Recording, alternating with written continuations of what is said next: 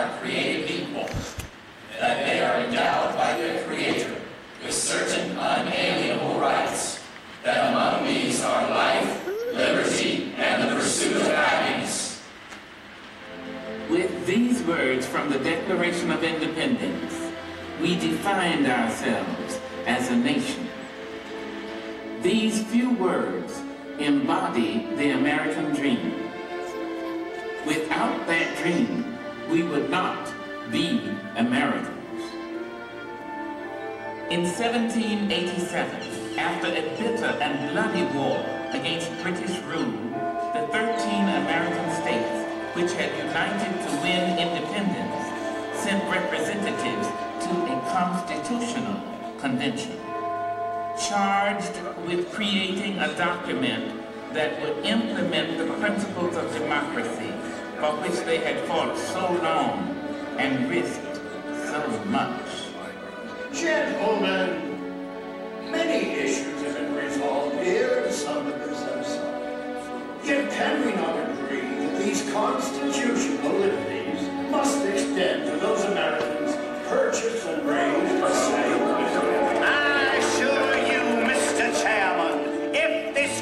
Convention fails to insert some security to the southern states against an emancipation of slaves, we can never receive the plan. My good countrymen, the warmest friends this Constitution has do not contend that it is free from imperfections. But there is a constitutional door open for change. I think the people can decide on the alterations amendments which time may prove necessary. The General Washington, sir. Mr. Franklin. Fellow delegates, I cannot help expressing a wish that every member of this convention who may still have objections to it would, with me, doubt a little of his own infallibility and put his name to this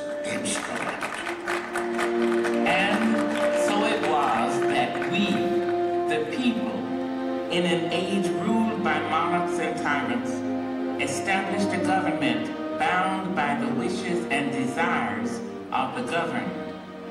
That first generation of citizens soon chose George Washington as America's first president. We were going to be a land of opportunity in which the spirit of freedom would grow and expand with the American frontier.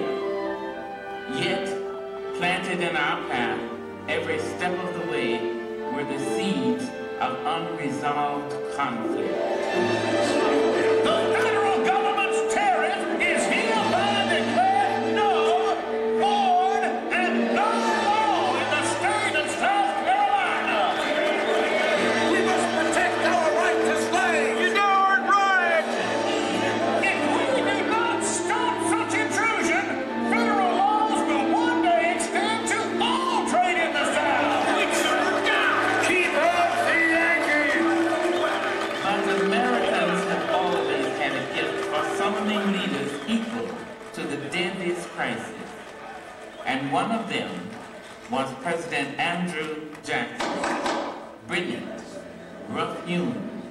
Courageous. There's nothing I shudder at more than the idea of separation of this union. I tell you, if a single drop of blood be shed in defiance of the laws of the United States, I will hang the first man I can get my hands on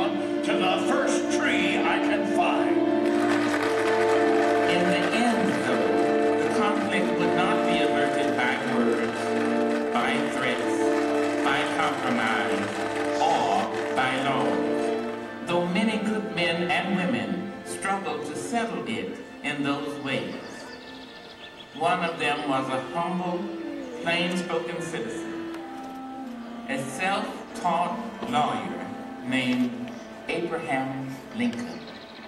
I tell you that this doctrine of Lincoln's declaring that all men are made equal by the Declaration of Independence and by divine providence is a monstrous heresy. You tell us! My fellow citizens, I believe this government cannot endure permanently half slave and half free. A house divided against itself cannot stand. That's a you think, young drink of water? Yes, my friend, that's what I think. If you have listened to suggestions to believe that all men are not created equal, let me entreat you to come back. If the Declaration of Independence is not the truth, let us get the statute book in which we find it and tear it out. Who is so bold to do it? No one!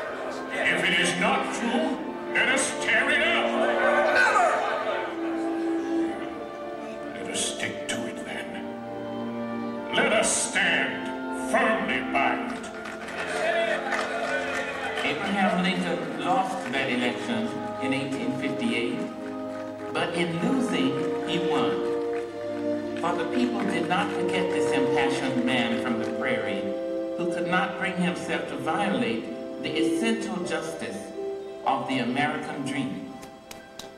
Two years later, they sent him to the White House. By then, the time for reasonable words had passed. I know there is a God and that he hates injustice and slavery. I see the storm coming. I know his hand We Americans had given Lincoln the hardest task any American president would ever face. When our nation was formed, we had slaves among us. Yet that does not destroy the principle that is the charter of our liberties. Now is the time for decision, for firm, persistent, resolute action. Deem best calculated to make America a union of hearts and hands as well as states. I wish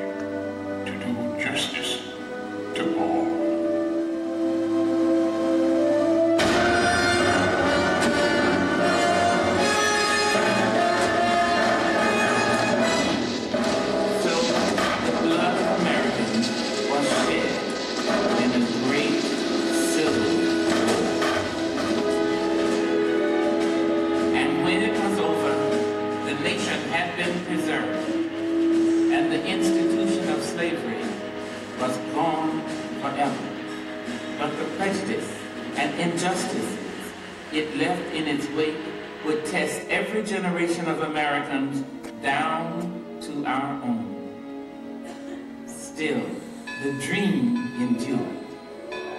As the frontiers of America pushed on to the Pacific Ocean and beyond, as waves of immigrants swelled our population, new voices would rise to insist again and again that we, the people, must mean all the people.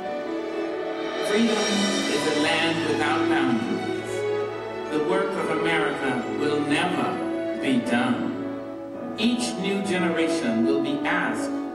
Discover the part it must play. And each new generation will leave unfinished tasks for the generations that follow.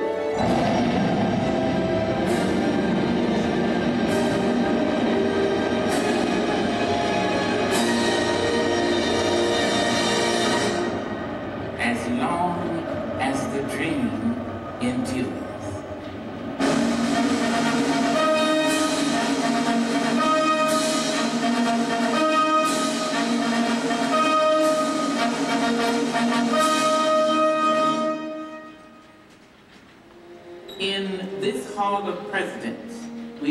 Upon a mirror of ourselves. The leaders we have chosen to safeguard our rights and our ideas, to imagine the future and to embrace its challenges. Ladies and gentlemen, the presidents of the United States. George Washington, John Adams, Thomas Jefferson, James Madison, James Monroe, John Quincy Adams, Andrew Jackson, Martin Van Buren, William Henry Harrison, John Tyler, James K. Polk, Zachary Taylor, Millard Fillmore, Franklin Pierce, James Buchanan, Abraham Lincoln, Andrew Johnson, Ulysses S. Grant,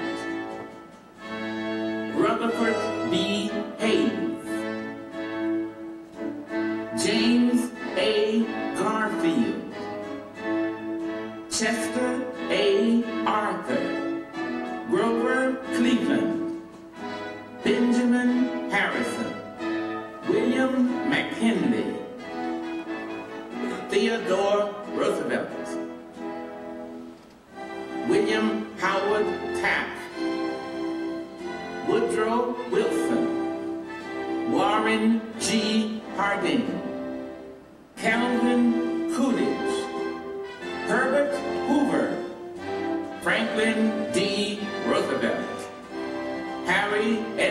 Truman, Dwight D. Eisenhower, John F. Kennedy, Lyndon B. Johnson, Richard M. Nixon, Gerald R. Ford, Jimmy Carter, Ronald Reagan, George current President of the United States, Bill Clinton.